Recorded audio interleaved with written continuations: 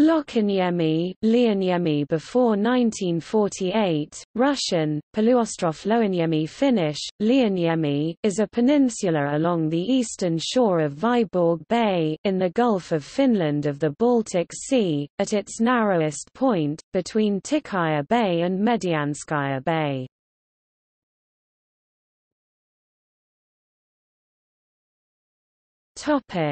External links Modern map Old Finnish map Pictures of Lokhaniemi